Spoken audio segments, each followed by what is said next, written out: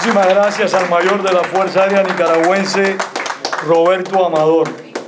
Les repito que no es fácil interrumpir a una persona cuando está hablando, pero si no lo hacemos nos acercamos al caos y entonces nos pueden hacer las mismas críticas que a Hugo Chávez y a esa gente que gobiernan o desgobiernan. Así que mejor cumplimos con el horario. Vamos ahora a escuchar a una persona que no fue militar, que no es militar, pero una persona que tiene profundos conocimientos del mundo militar, un especialista en las relaciones cívico-militares.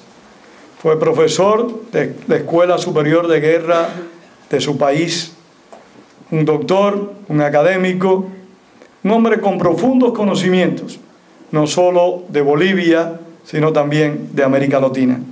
Con ustedes, el doctor Hugo Achá.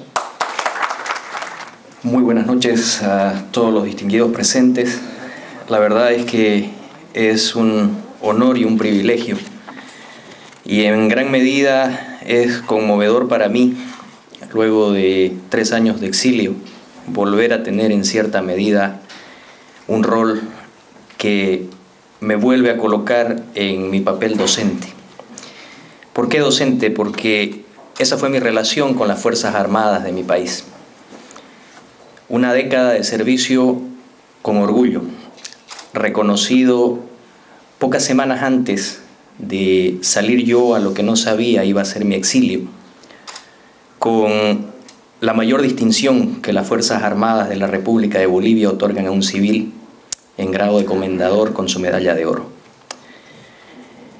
Al ser invitado a esta conferencia, me he visto en el transcurso de la misma gratamente sorprendido y creo que va a ser para la tranquilidad de mi buen amigo, si me permite llamarlo así, Pedro Corso, porque el coronel Pazmiño me ha ahorrado en gran medida la explicación del contexto.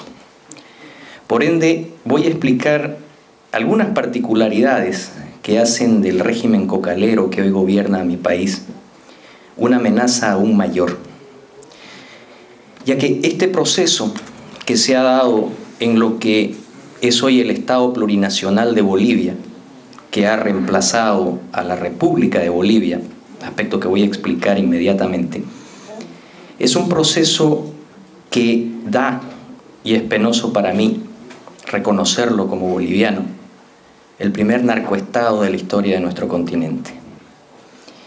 Infelizmente y como antecedente y baldón para nuestras Fuerzas Armadas, al inicio de la década de los 80, la presencia de un gobierno conformado por militares nos dotó del primer narcogobierno. Estos generales que mancillaron su uniforme y que terminaron con el aquel entonces oficial de ejército y ministro de gobierno Luis Arce Gómez, purgando prisión en una cárcel en Tallahassee, estado de la Florida, en los Estados Unidos de Norteamérica, por conspiración y organización de narcotráfico. Felizmente, una vez se retornó a la democracia, hubo un proceso de institucionalización que devolvió la dignidad a las Fuerzas Armadas y a sus integrantes llegando en el proceso de consolidación democrática a constituirse en una de las instituciones más respetadas conforme a las encuestas que realizaban prestigiosas instituciones y universidades, solamente por debajo de la Iglesia Católica y de entidades de irreprochable trayectoria internacional.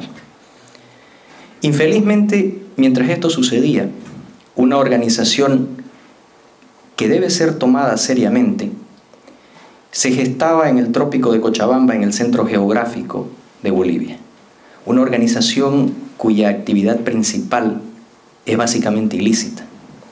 La producción de la hoja de coca en el centro de mi país no tiene ningún tipo de cobertura cultural, ancestral ni justificación moral alguna.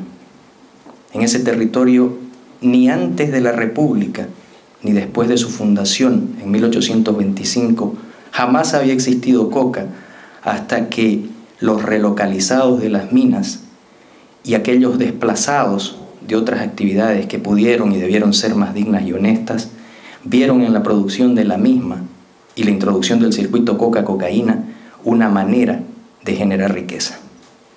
Esta organización de carácter corporativo decidió de manera deliberada, planificada y organizada tomar el poder para proteger la actividad ilícita en Bolivia y lo consiguió.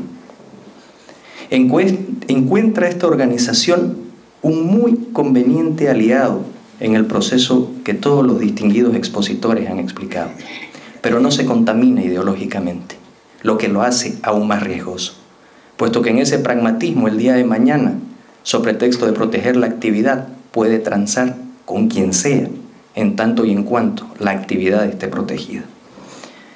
Se hablaba de la mudanza constitucional y yo hacía una referencia para distinguir el Estado plurinacional de la República. Cuando el hoy presidente Juan Evo Morales Aima vestía la aparente piel de un Mesías indígena y convocaba a la reforma constitucional que se denominó mañosamente como plenipotenciaria y fundacional, originaria además, se escondía un proyecto que infelizmente muchos de los que en aquel momento intentamos advertir a la población nacional no tuvimos éxito. La desaparición de nuestro país como tal. La desaparición de una república no es poca cosa. República no es una palabra. República quiere decir cosa de todos. Y cuando algo deja de ser de todos y los derechos se discriminan, y se distingue a un ciudadano por el color de la piel, por la pertenencia a un partido político o por cualquier tipo de indicativo que lo haga distinto o menoscabe su condición frente a su compatriota, ese Estado no es más una democracia. Ese Estado no le pertenece más a todos sus ciudadanos. El Estado plurinacional no es la República de Bolivia. No se siente obligado, sino en aquello que conviene al régimen imperante en relación al cumplimiento de sus obligaciones internacionales y solo como muestra y botón está hoy al margen de la Convención de Viena, que regula todo lo concerniente al tráfico de estupefacientes. Por ende, hoy día se ha implementado en mi país un indicador para regular la vida del ciudadano. Ese indicador se denomina el proceso de cambio Proceso de cambio es un concepto vago en lo jurídico, pero letal y preciso en lo político. Aquel que de él participa se beneficia, se enriquece y puede ostentar altos cargos. Aquel que a este proceso se opone termina en el exilio, puede perder el patrimonio, la familia o la vida, como le ha sucedido a decenas de compatriotas que infelizmente han perdido la vida y a centenares que hoy viven fuera de las fronteras en el amargo exilio. ¿Qué sucede con las Fuerzas Armadas de la Nación durante este proceso? Cuando se da la aprobación de la constitución política impulsado por el movimiento al socialismo, que es el partido político, por cierto, adquirido vía transacción comercial y que ostenta, cosa curiosa para todos ustedes que han hablado del comunismo y están familiarizados con su heráldica y sus colores tradicionales, en su bandera el azul, blanco y negro de la falange franquista porque fue vía una adquisición y una transacción que adquirió el derecho y la capacidad jurídica para intervenir en unas elecciones. Yo no sé realmente si todos los que aquí están y sobre todo los que han sufrido las experiencias descritas pueden admitir que un partido de izquierda y socialista puede ostentar semejante bandera distintiva. Más allá de ello, una vez que se logró la modificación del orden constitucional y se aprobó una constitución dentro de una unidad militar a costo de vidas cegadas salvajemente, se introdujeron cambios fundamentales. Entre ellos, se hizo de la coca patrimonio del Estado. Por ende hay aquí una gran ironía. Las fuerzas de seguridad y las fuerzas armadas se suponen obligadas al control del ilícito y a la erradicación de las llamadas hectáreas de coca excedentaria. ¿Cómo puede hacer un militar o un policía en servicio para hacer la erradicación de algo que la Constitución consagra como patrimonio del Estado? En esas y otras de las contradicciones se ancla este proceso de cambio. En la ruptura del concepto legal constitucional, las Fuerzas Armadas han ido sufriendo sucesivamente distintas modificaciones en sus roles. No fue casual que el presidente Evo Morales tuviera como primer acto, una vez elegido, el pasado a la reserva inmediata de oficiales que tenían una treintena de años de carrera y que no merecían el ignominioso final que finalmente se les dio. En ese aspecto hay que escuchar el discurso y prestar atención al contenido. Lo que voy a leerles a continuación son extractos de palabras pronunciadas por el presidente y vicepresidente del Estado plurinacional en ocasión tan reciente como apenas dos días atrás. Primero, señalar que las Fuerzas Armadas son las guardianes del proceso de cambio. Eso no quiere decir nada, para mí quiere decir todo. Quiere decir que las Fuerzas Armadas no son más el ente al servicio del ciudadano, sino el ente al servicio de un régimen. En tal sentido, el vicepresidente de la República, en el mensaje del Estado de la Nación, pronunciado hace apenas 48 horas atrás, señaló, Evo es el proceso de cambio y el proceso de cambio es Evo. Por ende, ¿de quién son guardianes las Fuerzas Armadas? ¿Del ciudadano? ¿Del Estado? ¿O de un individuo que ostenta simultáneamente la condición de presidente de este Estado plurinacional y al mismo tiempo es ejecutivo de las seis federaciones de cocaleros del trópico de Cochabamba, hecho que es inconstitucional aún frente a su propia constitución. Es interrogante que los bolivianos nos preguntamos, hoy día lo pagan absolutamente todos ustedes, junto a nosotros.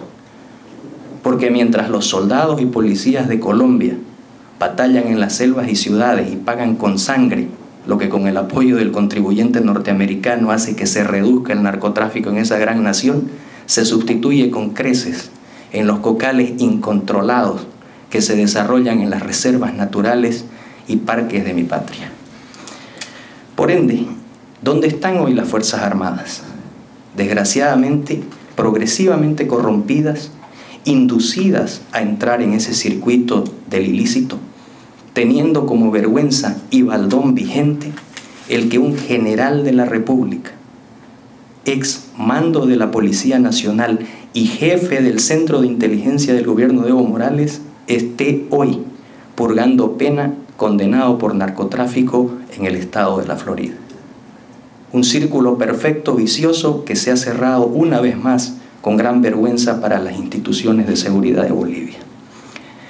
El desgaste de la cobertura indigenista, la represión salvaje a los marchistas que intentan impedir aún hoy el que se convierta a la reserva del Isiboro Secure en un área de ampliación de los ilícitos cocales, hace que aquella tentativa de reemplazo de las Fuerzas Armadas, del entrenamiento de milicias, haya sido ágil, y otra vez vuelvo a insistir, muy pragmáticamente cambiadas por la cooptación vía corrupción de las Fuerzas Armadas, generando una vez más el pernicioso pretorianismo que tanto daño nos hizo en el pasado y que sin importar la cobertura ideológica termina minando las libertades civiles y políticas de un Estado en democracia.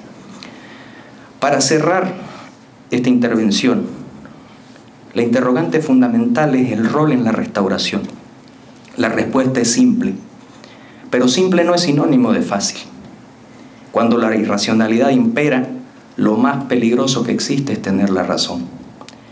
Por ende, la respuesta en el rol de las Fuerzas Armadas de mi país es volver al imperio de la ley y la constitución de 1967 reformada por última vez el 2004.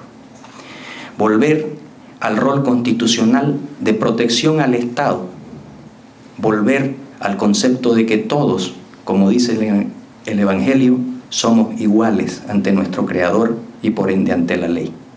Volver al cumplimiento de la ley orgánica que hace que cada oficial y caballero sirva primero a su patria y no a un régimen espurio. Muchas gracias.